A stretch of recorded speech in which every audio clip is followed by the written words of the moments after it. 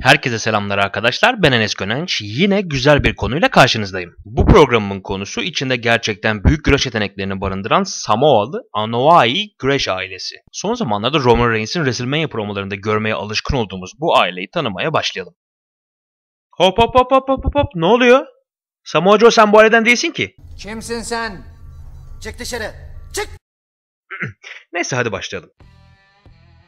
The Rock'ın dedesi Peter Maivia ile Roman Reigns'in dedesi Amituana Anoa'i kan kardeşler. Bu yüzden de bu iki tarafın çocukları hatta torunları hep aynı aileden sayılıyorlar. Peter Maivia dünya çapında üne kavuşan ilk Samoalı güreşçidir. Özellikle Samoa'nın Amerika'da tanınmasında payı gerçekten çok büyüktü. Peter National Wrestling Alliance'ın birçok farklı konuda güreşmiş ve yaklaşık 15 kemer kazanmıştır. Ring içi ve ring dışında oldukça sert biri olarak bilinirdi. Kesinlikle bulaşmak isteyeceğiniz biri değil. Peter Maivia 1982 yılında hayatını kaybetti. Onun önderliğini yaptığı bu Samoa fırtınası şu an hala devam ediyor. WWE kendisini 2008 yılında Hall of Fame ilan etti.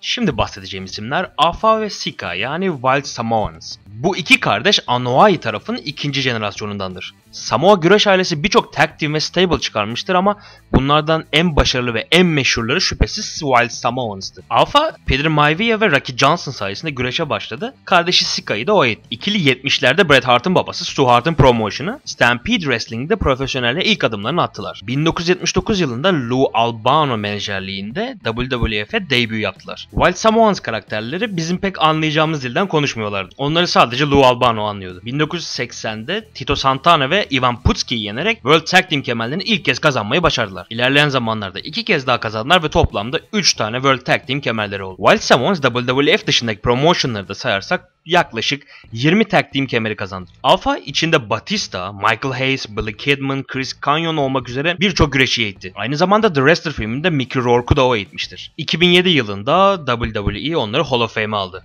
Sıradaki isim Rocky Johnson. Söylemem gerekiyor ki çok karizma bir isim var. Rocky Johnson Pro Wrestling'den önce boks eğitimi aldı. Hatta Muhammed Ali ve George Foreman gibi isimlerle sparring'e çıktı. Güreşe ise 1960'ların ortalarında başladı. Güreşirken bile bokstaki ayak oyunlarını sergiliyordu. Bu karizmatik abimiz Peter Maivia'nın kızı Ata Maivia'yı kendine aşık etti. Ata'nın babası Peter Maivia ilişkilerini onaylamasa da ikili evlendi. Ve tabii ki bu birliktelikten tüm zamanların en iyilerinden The Great One The Rock doğdu. Rocky 1983'te WWF'de güreşmeye başladı. Aynı sene Tony Atlas'la birlikte White Samoans'ı yenerek ilk siyahi tag team şampiyonu oldular. 1991'de emekli olan Rocky Johnson WWF'de sadece bir kemer kazanmış olsa da diğer promotionlarla birlikte toplamda 30'un üzerinde kemer kazanmıştır. Zamanın şartlarında midcard ve altı güreşçiler pek para kazanmadığından dolayı oğlu Dwayne Johnson'ın güreşçi olmasını kesinlikle istemiyordu. Neyse ki Dwayne Johnson onun tavsiyelerini pek dinlemedi ve güreşçi olmaya karar verdi. Babası Rocky Johnson da ona etmeye başladı. Dwayne Johnson'ın The olmasında Rocky Johnson'ın payı gerçekten çok büyük. WWE 2008 senesinde onu Hall of Fame'e aldı. Ve geldik Anoa'i ailesinin en büyük üyesine. Büyüklük derken gerçekten fiziki bir büyüklükten bahsediyorum. Rodney Anoa'i ya da güreş ringlerinde tanıdığımız ismiyle Yokozuna 1.95 boyunda ve 260 kiloydu. Çok kilolu olmasına rağmen kilosundan beklenmeyecek hareketleri yapabiliyordu. 1992 yılında Mr. Fuji menajerliğinde WWF'e debut yaptı. Geldiği ilk andan itibaren WWF'e damga vurmaya başlamıştı bile. 1993 yılında Royal Rumble'ı kazanmayı başardı. Aynı sene WrestleMania 9 main eventinde WWF şampiyonu Bret Hart'ın karşısına çıktı. Bret tam sharpshooter bağlamışken Mr. Fuji Bret'in suratına tuz fırlattı ve onun saf dışı kalmasını sağladı. Yokozuna da pine gidip kemeri kazanmayı başardı. Hulk Hogan Bret Hart'ı yerden kaldırmaya çalışıyordu. Her şey çok güzel gidiyordu Yokozuna adına. Derken iyice gaza gelmiş Mr. Fuji Hogan da olsa fark etmez Yokozuna şu an seni bile yener deyip kendisini maça davet etti. Hogan da tabii ki kabul etti ve direkt maça başladılar. Maç başladığı gibi Yokozuna Hogan'ı kavradı. Mr. Fuji de tam Hogan'ın suratına tuz fırlatacakken Hogan eğildi ve tuz Yokozuna'nın suratına geldi. Ve tabii ki bu fırsattan istifade Hogan da leg drop'la maçı kazanmayı başardı. Yani pek şaşırmadınız herhalde. Böylece Yokozuna WWF kemerini bir gün değil bir saat bile değil sadece birkaç dakika tutmuş oldu. Aynı sene King of the Ring'de Hogan'ın WWF kemerine contender oldu ama bu sefer yine hileli de olsa kazanmayı başardı. Bu kemeri ikinci ve son kazanışıydı. WrestleMania 10'da Lex Luger yendi. Yani yendi yenmesine ama aynı gece Bret Hart'a kaybetti kemeri. 1995 yılında Owen Hart'la tag team oldular ve iki kez World Tag Team kemerlerini kazanmayı başardılar. Yokozuna tag team ayrıldıktan sonra birkaç yıl yine büyük pay-per-view'lerde boy gösterdi. 2000 yılında sadece 34 yaşındayken akciğerinde ödem oluşması sebebiyle hayatını kaybetti. Stone Cold'a göre güreş tarihinin en iyi iri adamlarından biriydi. 2012 yılında WWE onu Hall of Fame ilan etti. Ailenin en çılgın isimlerinden birine geldi sıra. Solofa Fatu Jr. yani Rikishi. Rikishi amcaları Afa ve Sika'ya gitti. Kuzeni Samu ile birlikte WCW'da olmak üzere birçok promotion'da tag team olarak güreştiler. Sonradan WCW olacak olan Jim Crockett Promotions'da bilin bakalım bu ikilinin menajeri kimdi? Paul E. Dangerously yani Paul Heyman. Samu ve Fatu yani Rikishi The Headshrinkers olarak 1992'de WWF'de güreşmeye başladılar. The Headshrinkers bir kez World Tag Team kemerini kazandı. Fatu tag team olarak geçen yıllardan sonra tek takılıp bol bol gimmick değiştirmeye başladı. 1996'da The Iron Sheik ve Bob Backlund'ın menajerliğinde The Sultan olarak göründü. 99'da ise Rikishi oldu. Grandmaster Sexy ve Scarlett O'Hara'nın Too Cool tag team ile takılmaya başladı. Bu ekip o kadar çok sevildi ki fan favorite oldular. Rikishi 2000 yılında Royal Rumble'a adeta damgasını vurdu. Tam 7 kişiyi elemeyi başardı. Ama bence kesinlikle gecenin en güzel hareketi Too Cool'la birlikte ringdeyken o yaptıkları meşhur dansları kesinlikle görmeye değerdi. Aynı sene Rikishi Chris Benoit'ı yenerek Intercontinental Champion olmayı başardı. Kemeri sadece 14 gün tutabilmiş olsa da sonunda bir kemeri olmuştu. Bir süre tek takıldı. Daha sonra 2002'de Rico ile World Tag Team şampiyonu oldu. 2004'te de Scarlett O'Hara ile takım olup WWE Tag Team şampiyonu oldular. 2005 yılında WWE'den ayrıldıktan sonra independent olarak takıldı. Bir ara TNA'de bile boy gösterdi. WWE onu bu sene bildiğiniz üzere Hall of Fame yaptı.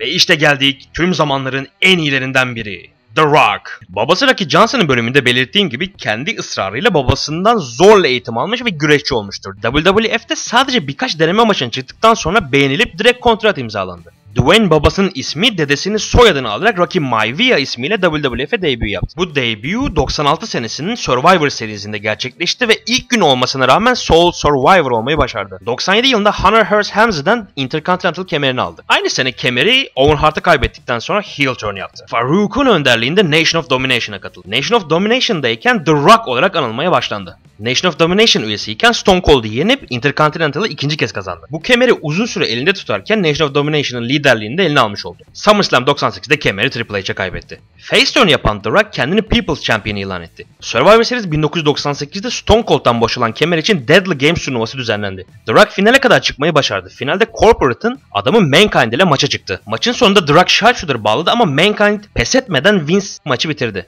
Aynı bir sene önceki Montreal Screwjob olayını yaparak Rock'ı Corporate'a dahil etti. Rock da tekrar heel oldu. Kemer WrestleMania 15'i Stone Cold'a geçene kadar iki kez daha Rock'ta durdu. Bu dönemde heel olmasına rağmen mikrofon yeteneği ve kitlelere seslenme kabiliyeti sayesinde seyircilerin her zaman sevdiği bir isim oldu ve tekrar face oldu. Mankind ile birlikte Rock and Sock Connection'ı kurdular. Bu ikili o kadar zıt, o kadar sıra dışıydılar ki seyirci onlara adeta aşık oldu. Birlikte tam 3 World Tag Team şampiyonluğu kazandılar. 2000 yılında The Rock Royal Rumble'ı kazandı. WrestleMania'da Fatal 4-Way maçta maalesef kemeri kazanamadı ancak Triple H'de girdiği feud'un devam eden kısımlarında iki kez daha kemeri kazanmayı başardı.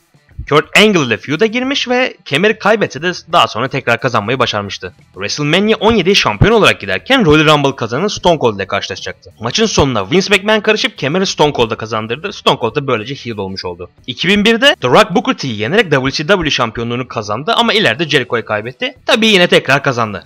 Chris Jericho ile devam eden bu feud'de tag team şampiyonlukları bile oldu birlikte. O sene Survivor serisinde 5'e 5 maçta Stone Cold'u pin ederek Alliance'ın bitmesini sağladı. İlerleyen zamanlarda WCW kemerini Jericho'ya kaybetti. WrestleMania 18'de reklamı Icon vs. Icon olarak yapılan maçta Hulk Hogan'la karşılaştı ve Hogan'ı yenmeyi başardı. 2002 Vengeance'da WWF kemerini 7. kez kazandı. İlerleyen zamanlarda Lesnar'a kaybetti. Stone Cold ile 3. WrestleMania karşılaşmaları WrestleMania 19'da oldu ve bu maçı kazandı. 2003 yılında Backlash'te Goldberg'e karşı çıktığı maçı kaybetti ve film sektörüne yoğunlaşmaya başladı. Bu tarihten sonra sadece birkaç maçta göründü. 2011 senesinde geri gelip WrestleMania 27'nin sunucusu oldu. Main Event'te Cena'ya rock bottom yaparak Miz'in kazanmasını sağladı. Survivor serisinde Cena ile tag team olup Awesome Truth'u yendiler ama maç sonunda Cena'ya bir rock bottom daha yaptı. Sözleştikleri gibi WrestleMania 28'de maça çıktılar. Once in a Lifetime olarak adlandırılan bu maça The Rock kazandı. Raw'ın 10. bölümünde Rock, CM Punk'tan Go to Sleep yedi. Bu olay Royal Rumble'da CM Punk'ın kemerini contender olmasıyla devam etti. Royal Rumble'da Shield'ın yardımıyla maçı CM Punk kazandı ancak Vince McMahon gelip kemeri CM Punk'tan boşa çıkaracakken Rock rövanşı istedi ve maçı aldı. Böylece WWE kemerini 11 yıl aradan sonra 8. kez kazanmış oldu. Kemeri WrestleMania 29'a kadar korudu ve WrestleMania'da John Cena ile maça çıktı. Bu sefer kazanan John Cena oldu.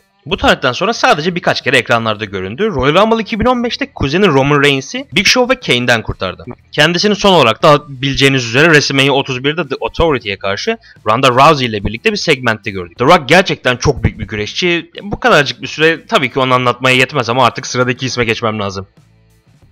Eddie Fatu. Daha çok tanıdığımız ismiyle Umaga. Eddie Fatu da abileri Rikishi ve Sam gibi güreşçi olmak istiyordu. 2002 yılında kuzeni ve Roman Reigns'in abisi olan Rosie ile birlikte 3 Minute Warning olarak WWE'de göründüler. Kısa bir süre sonra kontratı feshedildi. All Japan Pro Wrestling'de bir süre boy gösterdikten sonra 2005'in sonunda WWE'ye tekrar geri döndü. 2006 yılında Umaga olarak yepyeni bir gimmickle güreşmeye başladı. Umaga'nın gimmiği aynı amcaları Wild Samoans'ın gimmiğine benzer bir şeydi. Backlash'te Flair'ı yendi. Bir süre Kane ile feud'a girdi ve ezici bir üstünlük elde etti. 2007 yılının Ocak ayında iki pay-per-view'de Cena'nın WWE kemerine contender oldu ama ikisini de kaybetti. Şubat 2007'de Jeff Hardy'yi yenerek Intercontinental kemerini ilk kez kazandı. WrestleMania 23'te Battle of the Billionaires'de Vince McMahon'in güreşçisiydi ama maçı kaybetti ve Vince'in saçlar gitti. İtalya Milan'da yapılan Raw'da kemeri seyirci olarak gelen Santino'ya kaybetti. Tabi ilerleyen zamanlarda kemeri geri almayı başardı. Bu ikinci kemerini karşısında ilk kez kazandığı Jeff Hardy'ye kaybetti. Aktif olarak çok fazla pay-per-view ve maçta yer alsa da herhangi bir kemer kazanamadı bir daha. Eddie Fatu WWE'den ayrıldıktan kısa bir süre sonra maalesef kalp krizi geçirdi ve aynı gün bir daha tekrarlayınca bu kalp krizi dayanamadı ve maalesef hayata gözlerini yumdu. Sıradaki isimler Jimmy ve Jay Uso yani The Usos. İkili bir süre WCW'de piştikten sonra 2010'da WWE'de görünmeye başladılar. İkili WWE'ye debut yaptıklarında kendi geleneksel haka danslarıyla geldiler ve oldukça ilgi çekmeye başardılar. Özellikle bu ikili ikiz olduğu için harika bir tag team kombinasyonuna sahipler. Geldikleri dönem heel olarak takıldılar, pek başarılı oldukları söylenemez. WWE'nin Tag Team Division'daki düşüş sebebiyle ön planda olamadılar. 2014 yılına kadar birçok kez kemer maçlarında bulunup hep elleri boş döndüler. Matt 2014'te kemerleri New Age Outlaws'tan almayı başardılar. 202 günlük şampiyonluk süreçlerini Golden Stardust bitirdi. 2014 yılının sonunda The Miz ve Mizdow'u yenerek ikinci kez kemere sahip oldular. Bu sene Fastlane'de ise kemerleri Cesaro ve Tyson kaybettiler. Çok uyumlu bir ikililer ve bu yüzden onları uzun yıllar boyunca tag team olarak başarıdan başarıya koşarken göreceğimizi düşünüyorum ben. WWE olmasa bile diğer bir sürü promotionda tüm dünya çapında promotionlarda kesinlikle iş yapabilecek bir tag team. Ve son olarak geldik günümüzde Samoa ailesini en iyi temsil eden isimlerden birine. Roman Reigns. Reigns aslında profesyonel Amerikan futbolcusu. İstediğini bulamadı ve aile geleneği olarak güreşe yöneldi. WWE'nin gelişim promotionlarında bir süre piştikten sonra Survivor Series 2012'de Dean Ambrose ve Seth Rollins ile birlikte The Shield olarak debut yaptı. Roman Shield bünyesinde birçok feud'da bulundu. Girdikleri birçok Six Man Tag Team maçından üstün çıktılar. Extreme Rules 2013'te Roman Rollins ile birlikte Tag Team kemerlerini kazanmayı başardı. Bu onun şu anlık ilk ve tek kemeri. Shield yükselirken Roman'ın performansı da artıyordu. Bireysel olarak da iş yapabileceğinin sinyallerini verdi. Royal Rumble 2014'te tam 12 kişiyi eleyerek bu alanda rekor kırdı. Sona kalmayı da başarmış olsa da Batista tarafından elendi. 2014 yılının ortalarında Shield ayrılınca Roman da solo kariyer fırsatına sahip oldu. Ayrıldığı andan itibaren WWE World Heavyweight kemerine aday oldu. 2015 Royal Rumble'ı kazanmayı başardı. Başardı başarmasına da face olmasına rağmen Heel gibi inanılmaz bir bu aldı. WrestleMania'da Brock Lesnar ile karşı karşılaşana kadar adeta buldozer moduna girdi. Önüne gelen herkes ezip geçti. Ve gün geldi WrestleMania 31'de Brock Lesnar'ın karşısına çıktı. Lesnar maçın genelini domine etti ama Reigns pes etmedi. Sonunda da Rollins Cashin ile maçı triple threat'e çevirdi. Roman'ı pin ederek şampiyonluğu kazandı. Roman Reigns WrestleMania 31'de de bir kere daha buğulandı. Face olmasına rağmen buğulandı. Yani doğruyu söylemek gerekirse benim görüşüme göre Roman Reigns o seviyelere şu anlık yakışmıyor. Ha kendisi hazır. Kesinlikle hazır. Ama seyirci hazır değil. Yine de geleceği çok parlak bir isim. İleride çok çok daha büyük yerlerde göreceğiz onu. Anoa'i ailesinin diğer güreş üyelerinden Rosie Umaga ile birlikte 3 Minute Warning'in bir parçasıydı. Kendisi aynı zamanda Roman Reigns'in abisi oluyor. Afa'nın 3 çocuğu daha güreşçi. Lloyd Anoa'i L.A. Smooth olarak biliniyor. Samula zaten Samu ve Alpha Junior yani Manu. Onu da Cody Rhodes ve Ted DiBiase ile birlikte The Legacy'den tanırsınız. Hmm, onlar dışında Rikishi'nin ikiz kardeşi Sam Fatu var. Anoa'i tarafından Black Pearl ve hatta Samu'nun oğlu Afa'nın torunu Lance Anoa'i var. Bir de Naomi var tabii ki. O da Jimmy Uso ile evlendiğinden dolayı artık bu ailenin bir parçası sayılıyor. Evet arkadaşlar Peter Maivia'dan başladık. Rikishi, Wild Samoans, Umaga, The Rock, Uso'lar, Roman Reigns'e kadar geldik ve sonunda programımızın sonuna geldik. Roman Reigns'in birazcık bu aralar sevilmemesinden dolayı Samoa güreş ailesi de birazcık gözden düşmüş gibi olmuştu ama umarım bu programla birlikte ne kadar önemli bir aile olduğunu tekrar anlamışızdır. Ben programı yaparken çok eğlendim. Umarım sizler de dinlerken eğlenmişsinizdir. Bir sonraki programda görüşmek üzere diyelim. Kendinize iyi bakın. Hoşçakalın.